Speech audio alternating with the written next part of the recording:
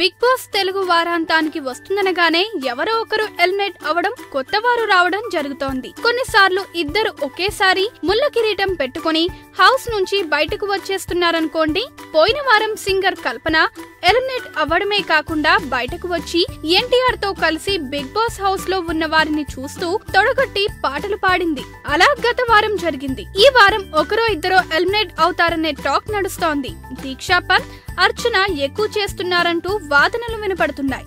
ఎవరు ఎలిమినేట్ అవుతారన్నది పక్కన పెడితే కొత్తగా వైల్డ్ కార్డ్తో హాటెస్ట్ తార నమిత ఎంట్రీ అవుతుందని ఓ ప్రచారం నడుస్తోంది. నమిత తమిళ బిగ్ బాస్ నుంచి ఎలిమినేట్ అయ్యి అడవుల్లో తిరుగుతోంది. ఇప్పుడు తెలుగు బిగ్ బాస్ కోసం ఆమె అడవుల నుంచి తిరిగి వచ్చేస్తుందట. ఆమె నిజంగా ఎంట్రీ ఇచ్చుకుంటుందా? వెయిట్ అండ్ సీ ఈ వీడియో గనక మీకు నచ్చినట్టయితే లైక్ చేయండి షేర్ చేయండి సబ్స్క్రైబ్ చేసుకోండి.